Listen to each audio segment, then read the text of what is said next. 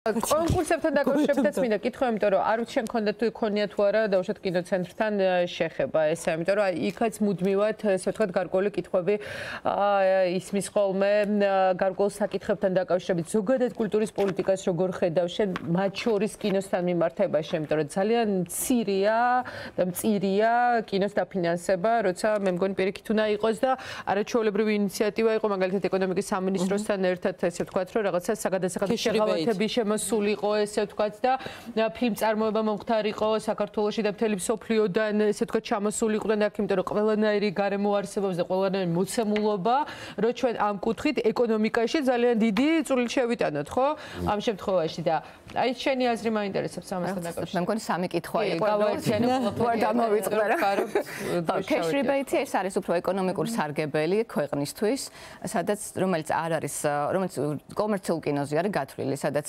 უცხოური დიდი კომპანიები, კინოკომპანიები მოდიან საქართველოში, პოულობენ აქ პარტნიორებს და საქართველოს იყენებენ როგორც თქვა გადასაღებ მოედანს ან რაღაცა ადამიანურ რესურსს. თუმცა პროდუქცია, ეს ქართული პროდუქცია არ არის და არ არის დამოუკიდებელი პროდუქცია, არაკომერციული.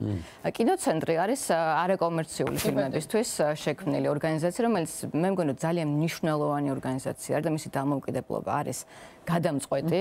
იმისათვის რომ კინო არსებობდეს ის იმ ფორმით რადგანაც ის არსებობს როგორც არსებობს და როგორ რისკენაც მიდის.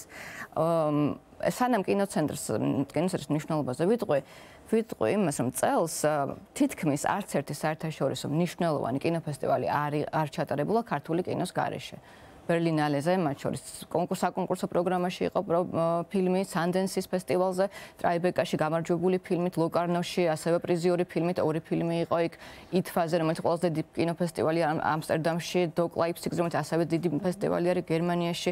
არ ვიცი თუ რამე გამარჩა, მაგრამ ყველგან პროექტები თუ დასრულებული ფილმებით საქართველოს არის ძალიან ასე ვთქვათ წინა ხაზზე მოდი ასე ვთქვათ ძალიან შესაძლებელი. მაგრამ კოპროდუქციის ხარჯზე ეგეც და ასევე კოპროდუქციის. კითხვა მინდოდა ზუსტად ამას კი ბატონო. თავისთავად რადგანაც დაფინანსება კინოცენტრიდან არის აი ამ მასშტაბისთვის მიზერი.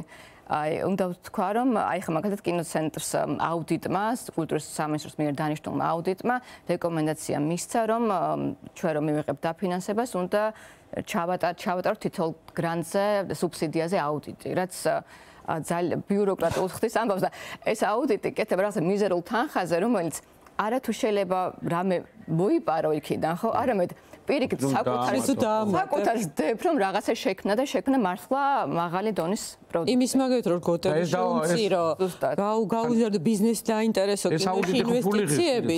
რა თქმა უნდა, იმის მაგალითად რომ შეწყო შენ თრასეც ამბობ ეს იგივე ევროკავშირის დაფინანსების მოდელებზე რომელიც არა გვაქვს ატომაც არა გვაქვს. კი, მაგასაც ვიტყვი, მაგრამ იმასაც გავა გავაგზავნე. ამის გამო ერთის მხრივ იზულებულები ვართ რომ კოპროდუქცია ვეძიოთ სხვა სხვა ევროპულ ქვეყნებში, ზირთად ევროპა არის ამერიკა. მაგრამ არის მაგრამ ეს ასევე ძალიან კარგია, იმიტომ რომ ეს სფერო საერთაშორისოა. კინო არ არის ეს ლოკალური ინდუსტრია არანაირად.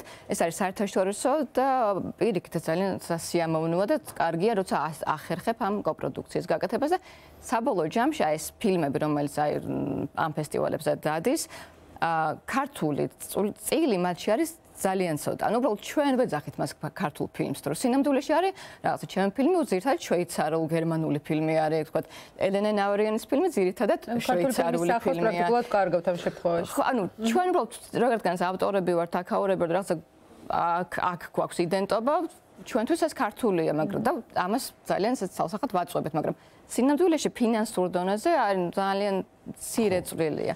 აი სალომე და წარდგენის დონეზეც ალბათ ფესტივალებზე, ხო? იმიტომ რომ როგორ წარადგენენ ხოლმე ფესტივალებზე, როგორც ქართულ ფილმს თუ მაგალითად როგორც გერმანულ ქართულ ენოვანი არის, ეს ავისთავად ქართული არის, მაგრამ პირველია ყოველთვის იწერება ქვეყანა, რომელსაც რომელს მეტი კონტრიბუცია და ჩემი ფილმი არის შვეიცარულ გერმანულ ქართული კოპროდუქცია.